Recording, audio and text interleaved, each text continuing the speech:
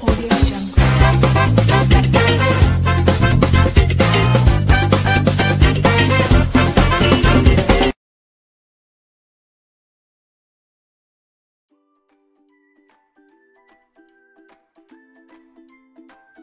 guys, how are you all? Hope you are doing good.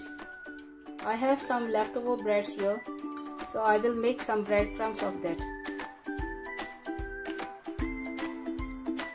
You can either uh, toast it or you can also fry it on a tawa.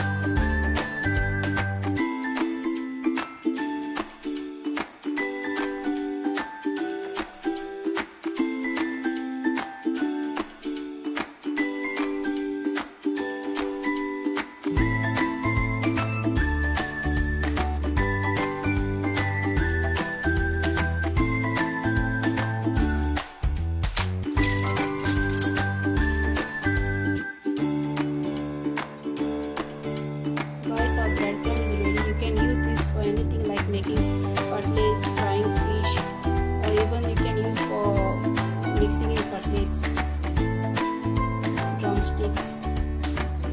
You can let it cool down and then you can store in an airtight container.